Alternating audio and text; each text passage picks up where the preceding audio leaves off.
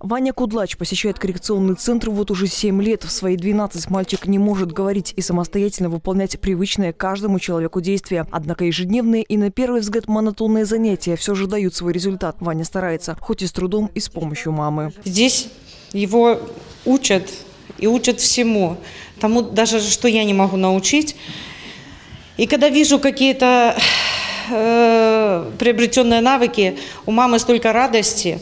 Он умеет танцевать, ходит на физкультуру, он дома показывает. Сегодня в коррекционно-развивающем центре по эффективной методике обучается 31 ребенок. Три дошкольные группы и два спецкласса посещают дети с так называемыми тяжелыми множественными нарушениями развития. При общении с особенными чадами, чтобы объяснить и понять, специалисты используют жесты, картинки и невербальную коммуникацию. Можно учить полгода, два месяца, год, выбирать свою фотографию или выбирать соответствующую картинку. То есть это все очень длительно, пошагово, но у нас есть очень хорошие помощники, наши родители, воспитатели. Помимо занятий здесь есть лечебная физкультура, танцы и даже сенсорная комната, где дети при помощи особой обстановки восстанавливают психологическое состояние. Но для идеально полного обустройства и комфорта детишек не хватает средств. Центр э, помогает не только детям улучшить улучшить их качество жизни. Ведь наша задача, чтобы они далее могли жить самостоятельно, приобретали трудовые навыки, навыки самообслуживания. Но, к сожалению, это не может у всех получиться.